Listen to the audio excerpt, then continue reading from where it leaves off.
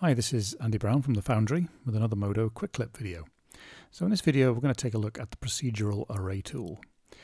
So in this scene I've got a plate and I've also got a switch and I want to copy that switch across this plate but I'm not sure at this point exactly how many I need and that's why doing it procedurally would be so useful. So with the switch selected I'm going to come over to Mesh Ops, hit Add Operator, I'm going to type in Array, double click on the Array Mesh Op and that'll get loaded in.